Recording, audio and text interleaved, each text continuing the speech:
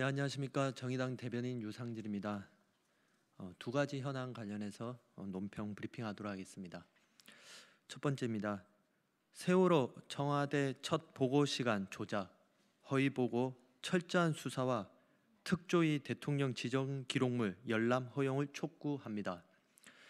세월호 참사 당일 박근혜 정부 청와대가 사고 발생 초기 늦장 대응에 대한 비난을 피하고자 사고 최초 인지 시간을 고의적으로 실제 인지 시간보다 늦추도록 조작을 했다는 정황이 세월호 참사 특별조사위원회의 조사 결과 드러났습니다. 김기춘 전 대통령 비서실장과 관련자들에 대해 참사 인지 경위와 시각을 허위로 조작한 증거로 새로운 혐의가 드러난 만큼 검찰은 즉각 이에 대해 철저히 수사할 것을 촉구합니다.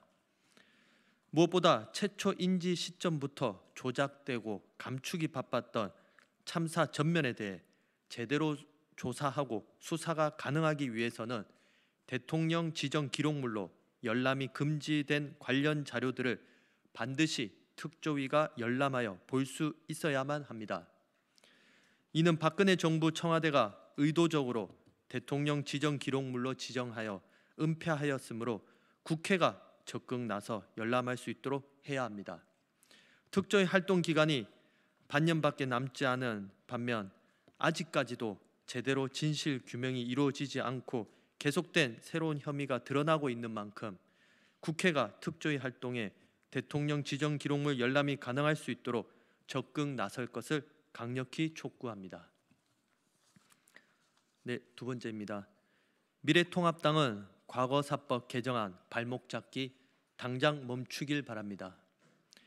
형제복지원 진상규명 등을 담은 과거사법 개정안을 여야가 합의를 했음에도 불구하고 미래통합당이 또다시 딴소리로 반대하며 발목을 잡고 있습니다.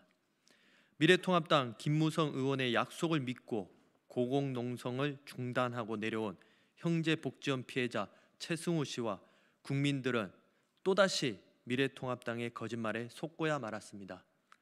미래통합당의 원내 새 지도부가 구성되자마자 개버릇 못 버리듯 역시나 딴소리와 발목 잡기 시작입니다. 스스로 맺은 합의 사항도 모르쇠로 일관하며 이대로 후안무치하게 20대 국회를 마무리 짓게 할 것입니까? 미래통합당은 즉각 합의 사항을 지켜 과거사법 등 임기 내내 미뤄진 숙제들을 반드시 완수하고 21대로 넘어갈 것을 촉구합니다. 네, 이상입니다. 고맙습니다.